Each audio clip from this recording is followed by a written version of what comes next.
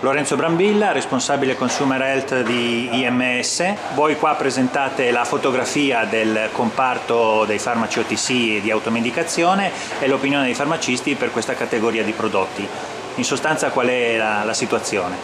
Ma il mercato dei farmaci OTC è un mercato in, in sofferenza da anni, eh, però potrebbe essere visto in un ambito più ampio con anche la parte dei parte dei, non, dei notificati, quindi tutta l'area degli integratori farmaceutici e comunque eh, c'è qualche spiraglio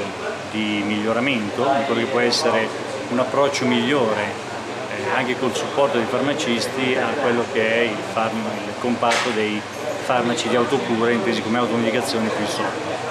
A questo riguardo il comportamento meglio percepito che ha il farmacista di questa, questa specifica area è di una quasi richiesta plafonata e quindi eh, l'obiettivo è quello di individuare quelli che sono, possono essere delle leve per migliorare eh, questa situazione che possono essere ricondotte a un maggiore traffico in farmacia sulla richiesta di questi prodotti, un uh, consiglio, un suggerimento sempre più importante da parte del farmacista, visto che parliamo di prodotti di libera vendita ma che sono comunque farmaci.